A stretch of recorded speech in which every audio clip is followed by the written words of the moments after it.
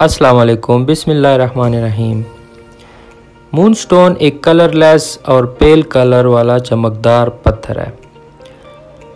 आज हम स्पेशली इसके बेनिफिट्स के ऊपर बात करने जा रहे हैं कि मून स्टोन को पहनने से आपको क्या क्या बेनिफिट्स हासिल हो सकते हैं। सो देर नहीं करते वीडियो को स्टार्ट करते हैं और अगर आप मून स्टोन के बारे में उसकी फार्मेशन के बारे में, उसकी पहचान के बारे में जानना चाहते हैं तो इसी डिस्क्रिप्शन इस वीडियो के डिस्क्रिप्शन में हमारा लिंक मौजूद है, आप जाके वहाँ वो वीडियो देख सकते हैं।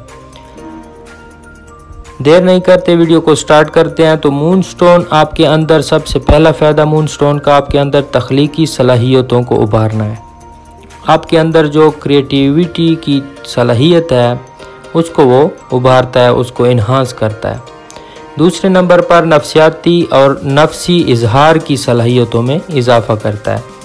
मतलब आपके जो इमोशंस का इजहार है, लव है, नफ़रत है, उनमें वो इजाफ़ा करता है। तीसरे नंबर पर इसे स्टोन ऑफ़ लव भी कहते हैं।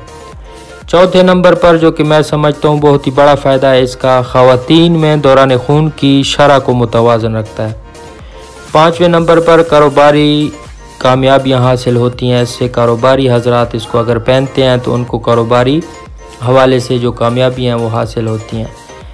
छठे नंबर पर मैदे और जिगर के मतलब बीमारियों में काफ़ी मददगार है।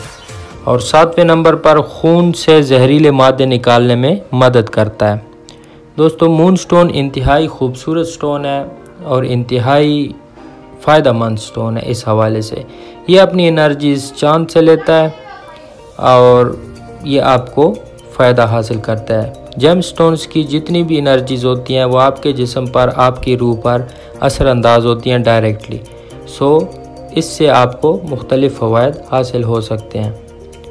वीडियो पसंद आई हो तो लाइक ज़रूर कीजिएगा और कमेंट सेक्शन में अपनी राय का इजहार ज़रूर फरमाइएगा। दुआ में याद रखिएगा। अल्लाह हाफिज़।